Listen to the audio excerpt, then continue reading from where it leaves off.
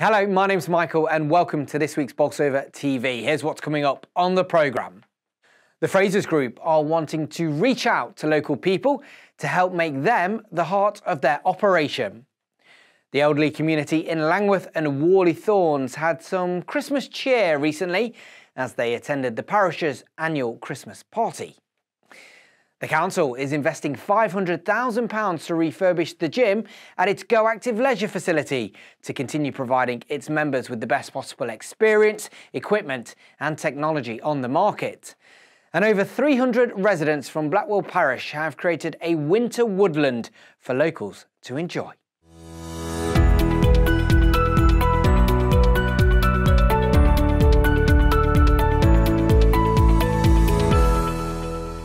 But first, last month we told you that as part of the Council's drive to create community woodlands and grow 1 million trees in the district, a tree planting scheme was due to take place in Creswell.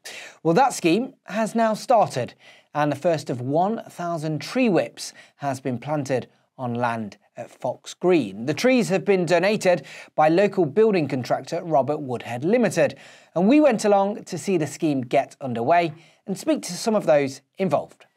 Uh, we all know about the climate change that's happening throughout the world. This is a, a, small contribution towards that, but it's a very important one. And we feel that the trees that's going to be planted here, not just by uh, us here today, but by the school children and members of the community as part of the whole process. I believe that this will be the flagship for Bolsover District now to show the way. We have 16 parishes uh, within Bolsover District.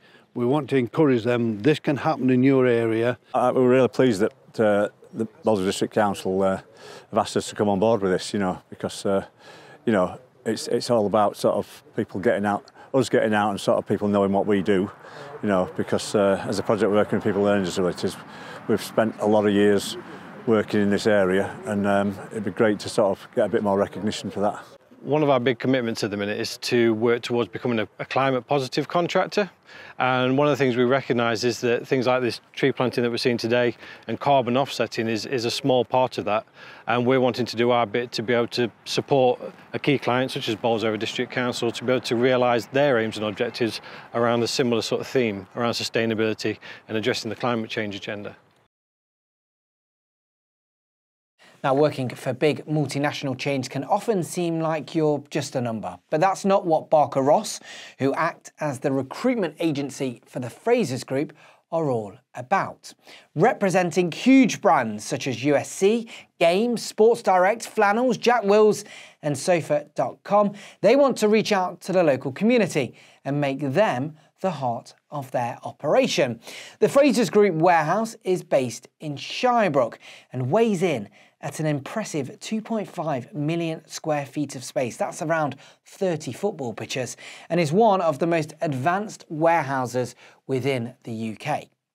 They want to employ local people in a variety of roles, from picking to web procession, and they want to nurture this talent, helping people to progress in the company and beyond. This is something that Charlotte Jones, contract manager at Barker Ross, was really passionate about when I spoke to her. So my hope is, is, to sort of reach out to the local community and get people from the community in the heart of our operation. In terms of you know the positions and such that we've got available, they're, they're really widespread across the warehouse, from sort of waste management up to operations, section leaders, anything you can think of essentially for any of the, the brands which fall under Frasers Group. I mean, We've done engagement surveys for, for the last couple of years and, and the facts from last year, I think it's about 75% of all candidates said that they'd made lifelong friends, they'd formed you know, really meaningful friendships with their colleagues and teams um, on site. From a management point of view, nearly all of the managers have, have come from internal progression. It's something that the business and Barker Ross are really passionate about. How would you sum up your, your first two months working for, for Barker Ross and, and what you've done here? Absolutely amazing. I've never worked for a business like Barker Ross before. It is a, it's a beast of an operation. It's absolutely amazing. You know, we've got some of the best automation in the world. Um, it's really, really industry leading. So it's an exciting team to be part of, and, and sort of now's the time to join and come be a part of my Barker Ross team. The Unite Battle Bus came to Shirebrook recently as they continued their campaign against universal credit cuts. They also visited the council offices in Clowne to meet council leader Steve Fritchley and deputy leader Duncan McGregor to spread their message that a warm home and food are not luxuries. Elderly residents from Whaley Thorns and Langwith attended the parish's annual Christmas meal recently. Held at Whaley Thorns Village Hall, they enjoyed an afternoon of fun with music and a delicious meal prepared by local company The Lemon Tree Cafe. Dozens of shoeboxes full of Christmas gifts have been donated from Shirebrook Academy thanks to the generosity of their pupils. The shoebox gifts have been collected by the Blast organisation, who will now combine them with donations they've received and will distribute them to families in need in the area. Now, the gym at the Go Active Leisure Facility in Clowne is currently undergoing a £500,000 refurbishment. Work started in early December and that saw old equipment being moved out.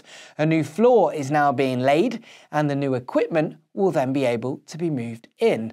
The new gym will provide members and users of the gym with a number of new things, including brand new and better equipment to help keep fit and healthy and get the best out of your workouts. There's new flooring throughout and thicker rubber matting in the free weights area. Users will have access to alternative pieces of equipment such as Stairmasters and bags for boxing too. There'll also be improved technology on the CV equipment and there'll be a brand new fitness and booking app called Track, which will enable members to track their fitness sessions and book group exercise classes too. The new gym is set to reopen at 8am on Monday, the 27th of December. And finally, we've seen tiled mosaics, wooden sculptures, and amazing artwork adorn the parish of Blackwell over the past 18 months. But the latest creative project is bringing a bit of festive cheer to the area. Perfect timing. Led by Greater Creative, the Winter Woodland project has been described as a joyful rite of festivity for Blackwell Parish. It's brought together five artists and over 300 residents from across the parish that's seen the creation of a beautiful woodland installation for people to enjoy this Christmas. And to extend the project further, four additional family workshops and 50 home packs were made and distributed to local residents to make their own trees for their own windows at home. And we've slowly started to see a window woodland now appearing around the parish as well. We went along to Woburn House to take a look at the sculptures.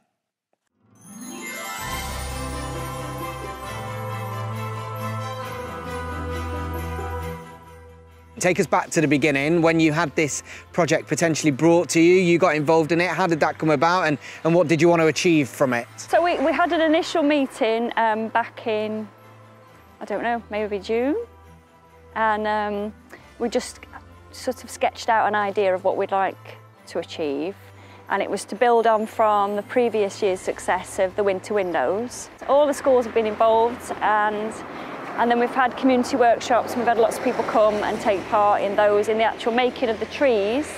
But people have also made window packs for their own homes and um, have come to workshops to make window packs as well. So we've had a really good turnout from the community. So these are either crocheted or knitted squares um, and some people have knitted dozens and dozens and some people, one lady knitted one, her first knitting that she's ever done, which was lovely.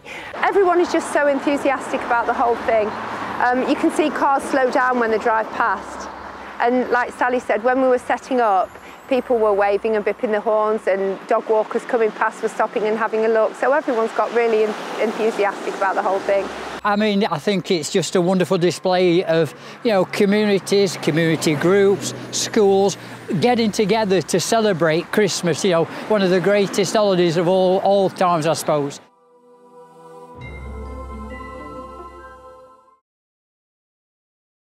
Wow, what a fantastic project and one that certainly brightens up the parish. That's all we've got time for, sadly, but please join me next week as we take a look at some of the highlights from 2021 and some of my less memorable moments. Thank you for watching. Goodbye.